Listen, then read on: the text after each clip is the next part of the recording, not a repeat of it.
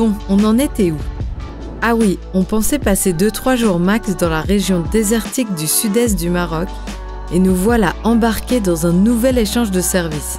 À 16h, on débarque dans le petit village de Ksar El Bouya pour notre second workaway au Maroc. C'est un mini village d'une centaine d'habitants situé à 10 minutes à l'ouest de la ville d'Erfoud. On se trouve à un croisement et le GPS nous indique qu'on est arrivé. Hmm. On interpelle un enfant en lui donnant le nom de notre hôte et voilà qu'il toque à la porte juste derrière nous. On rencontre alors Redouane avec son grand sourire qui fait du bien. Et il nous invite à garer Falcor à l'intérieur de sa grande maison construite en pisé. On rencontre également sa famille, Hajar, sa femme qui porte dans son ventre leurs jumeaux depuis trois petits mois. Yasmina, la première de la famille du haut de ses 5 ans, qui se débrouille de mieux en mieux avec l'anglais et sait se faire comprendre. Et bien sûr, Simba et Salam, les catcheurs poilus de la maison. Redouane accueille des workawayers dans sa maison depuis 2019 et on fait connaissance avec cet homme au grand cœur. Il a déjà reçu des centaines de visiteurs chez lui. D'ailleurs, on est là plutôt comme dans une expérience all-inclusive que dans un workaway habituel. On paye une somme symbolique et en échange, il nous prépare trois repas par jour et nous demande que deux heures de travail symbolique également. Nous, ça nous permet surtout de mettre nos mains dans la terre, dans leur quotidien, et de vivre une expérience autant hors du temps que du commun. Ici, on fait également la connaissance d'Emilie, une jeune Allemande, de Jonas, un jeune Belge, et de Sibylle, une Allemande également. Ils sont comme nous, en workaway chez Redouane, et on se pose dans le salon pour faire connaissance. En plus de l'échange culturel qu'on vit au quotidien, on aide aussi Redouane à créer des briques pour construire une future maison traditionnelle. Les matins, on part à pied à travers les champs pour arriver 10 minutes plus tard sur son terrain. Là, on a deux missions à accomplir. La première, creuser et niveler un bout de terrain.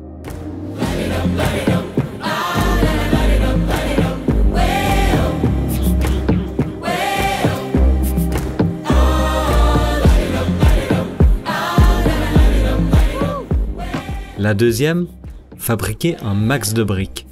Le processus est 100% naturel et manuel et super intéressant. On digue des sillons de terre qu'on remplit d'eau récupérée dans les canaux du village et on ajoute un peu de paille comme liant.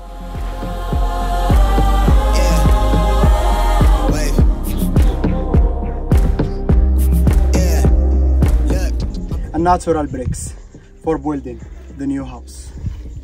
Ensuite, on tasse bien la boue et on tente de former nos deux briques parfaites. On fait ça pendant max deux heures car la chaleur devient vite étouffante.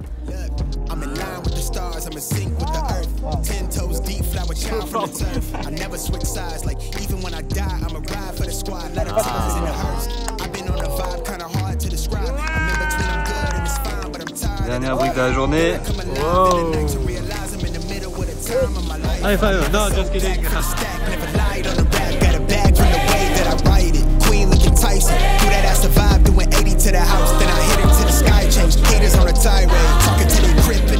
Puis on chill dans sa maison qui a 50 cm d'épaisseur de mur et possède pas de fenêtre afin d'empêcher la chaleur de rentrer. Cette technique de construction, on apprend également à l'utiliser à l'intérieur même de sa maison.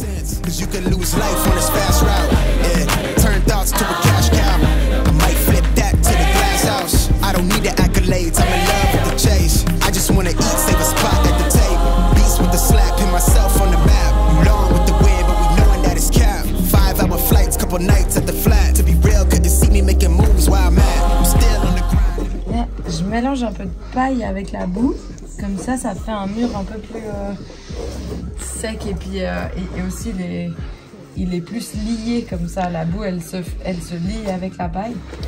Et on va rénover en fait le bas du mur de, la terrasse comme ça. Euh, il commence pas trop à s'effriter et à collapser. voilà, on met un peu d'eau pour, euh, pour que la boue et, elle colle au mur. Et ensuite, ça sèche et ça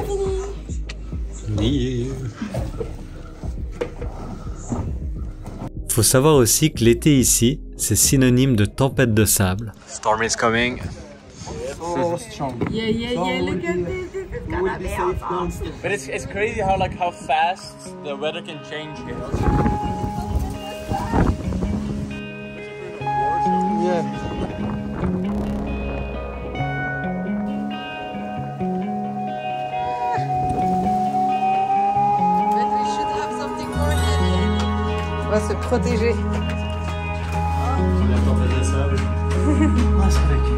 Une après-midi, on part avec Jonas, Emily et Yasmina pour découvrir les dunes à la sortie du village. Plus on marche et plus notre groupe s'agrandit. Cette simple petite sortie se transforme d'un coup en expédition à la lisière du Sahara quand la tempête se lève.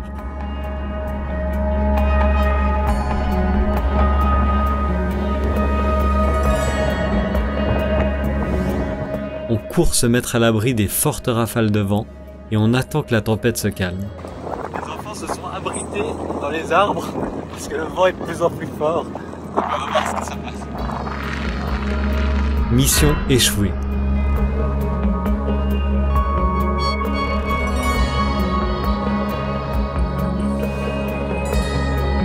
On retourne au village et d'autres enfants se joignent à nous. Le groupe continue de s'agrandir et finalement, on passera un bon moment avec eux à jouer dans le village et à passer de maison en maison tout en leur faisant pratiquer leur français.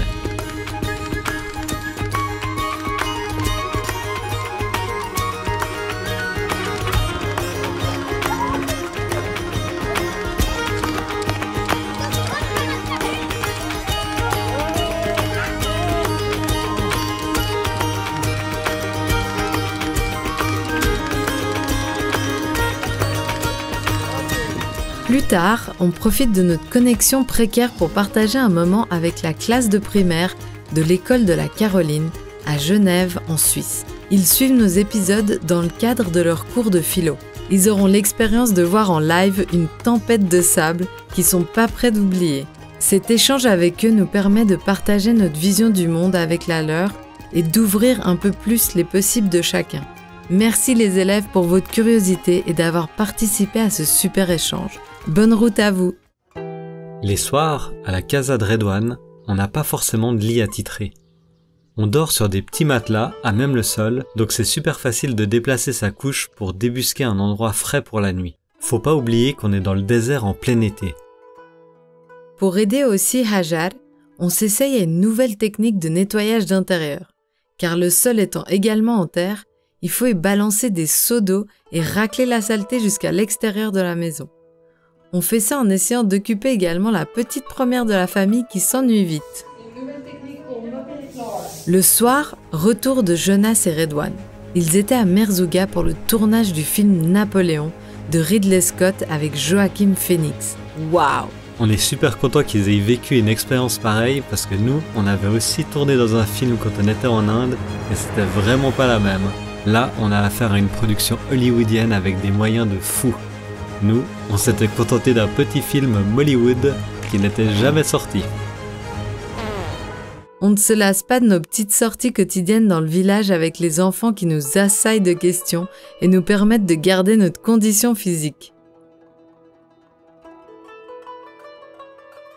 Dernière soirée d'Émilie qui partira aux aurores. Alors on sort les instruments en profitant d'une soirée jam entre non-initiés dans la cour intérieure de notre hôte. Mythique.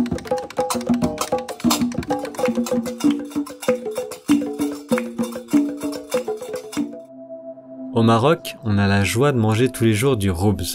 Et ici, on a la chance de voir comment Ajar le fait et même de s'essayer à cette tâche plutôt chaude.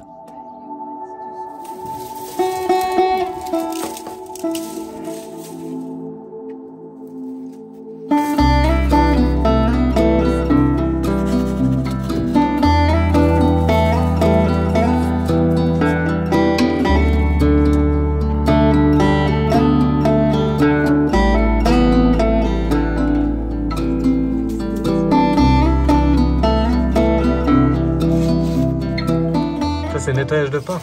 Ouais, il faut enlever la, le charbon un peu. Oh, thank you. Sans oublier le rituel du hachai, qui nous est enseigné dans les règles de l'art. Il faut 4 cuillères de thé vert, pas une de plus, pas une de moins. Non, ça dépend de la taille de la théière. On prend de l'eau bouillante, mais comme toutes les théières ici sont en métal, brûle. Ou plusieurs fois, on met le petit bloc dessus.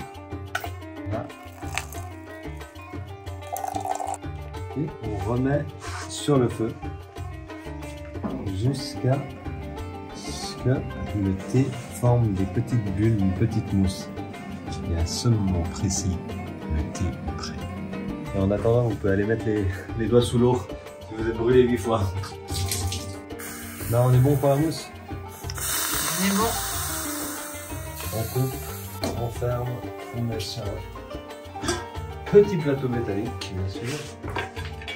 Actuellement, on est 4 personnes, mais toujours le petit cinquième au cas où quelqu'un se joint à nous et qu'on n'est pas au courant. Par question de politesse. C'est une petite touche qu'on trouve très, très sympa en tout cas.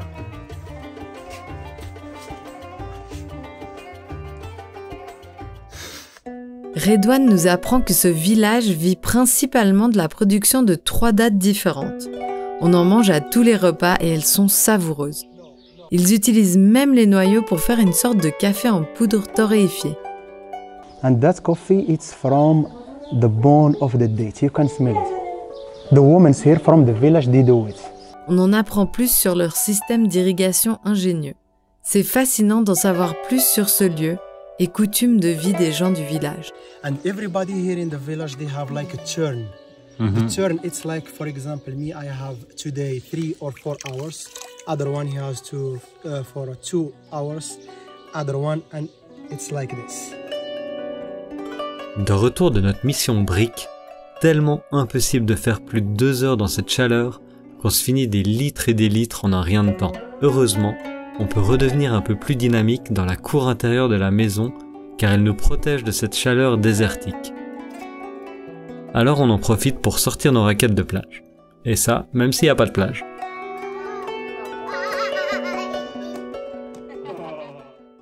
Malgré la distance géographique et culturelle d'où nous nous trouvons, la globalisation nous permet de faire des parties de Uno endiablées et de partager cela même avec la maîtresse de maison. Ce qui aura été très rare dans notre expérience au Maroc. Quel bonheur Sachant que la ville n'est qu'à quelques minutes de taxi collectif, Redouane prévoit toujours quelques sorties avec les gens qui l'accueillent.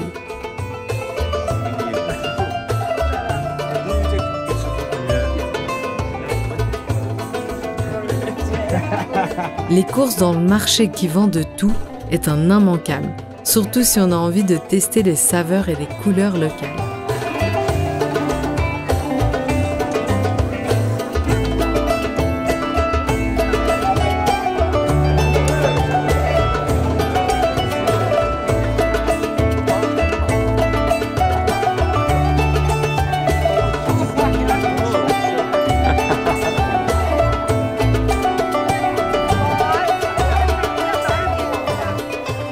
Pas les pauses lunch en ville après le marché et la dégustation du zaza.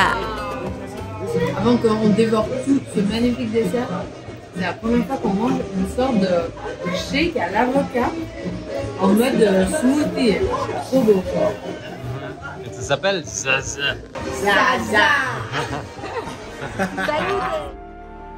Dans cet endroit d'apparence désertique, il y a tant de choses à faire, à découvrir et à vivre, comme la montée à une grotte sur les hauteurs du village.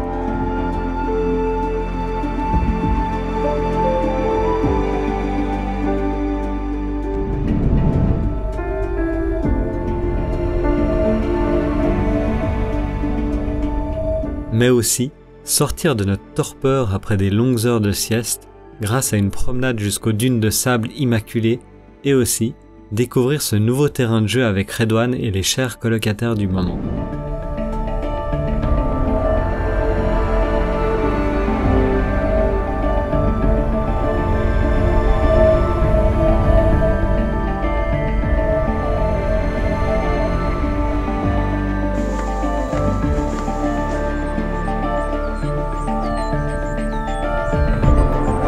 Qu'on est un peu dans le désert là. On dirait bien. Et pourtant, c'est un fond vert. Hop.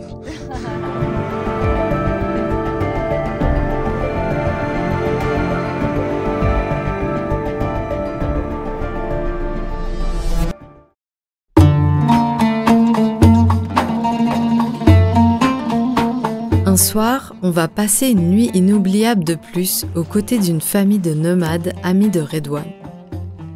Pouvoir échanger un peu avec eux et puis voir si c'est leur, euh, leur vie de nomade. Euh, ils ont des chameaux, des chèvres et plein d'enfants apparemment. du coup, on a acheté des fruits. Euh, Erdogan, il leur a acheté du poulet. Et puis, euh, puis voilà, on va faire une belle petite soirée autour du feu. Et on va dormir à la belle étoile. Ce à quoi on ne s'attendait pas par contre, c'est d'être accueilli par des chiens vraiment hostiles en pleine nuit, une fois proche du campement de la famille. Au moins, ils leur sont bien utiles pour tout mouvement autour de leur bivouac. Les enfants nous montrent leur beau troupeau de chèvres by night et notre cœur fond pour les nouveaux arrivants. C'est tellement enrichissant de partager et d'échanger avec des gens qui ont une vie complètement différente de la nôtre.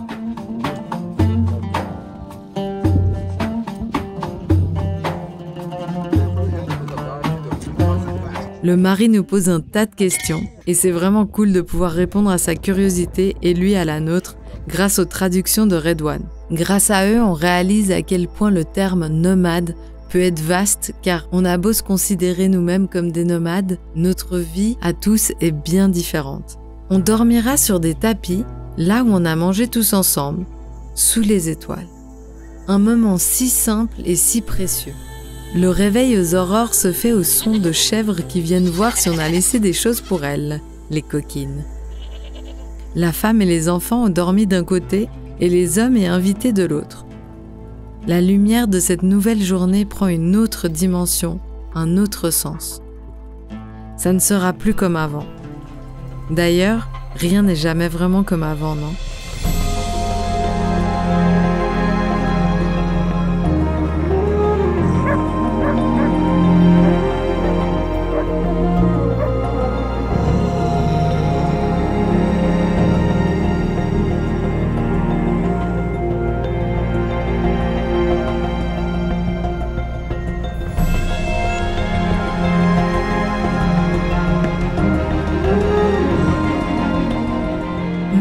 Redouane, sa famille et cette famille nomade pour cette nouvelle facette de vie, du monde et pour votre ouverture.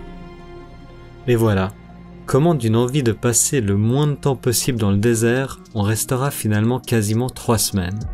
Merci à l'accueil, la générosité et la gentillesse de Redouane, Ajar, Yasmina et tous les workawayers qu'on a rencontrés là-bas.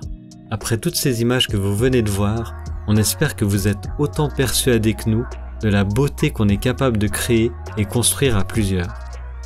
Les montagnes deviennent des chemins magnifiques à parcourir ensemble, dans l'ouverture, la confiance et la curiosité de voir ce qu'il y a plus loin. Une nouvelle famille à jamais gravée dans nos cœurs, et on reprend la route avec des paillettes plein les yeux, et bon, aussi un peu de sable quand même. Mais, tout ça, c'est une, autre histoire.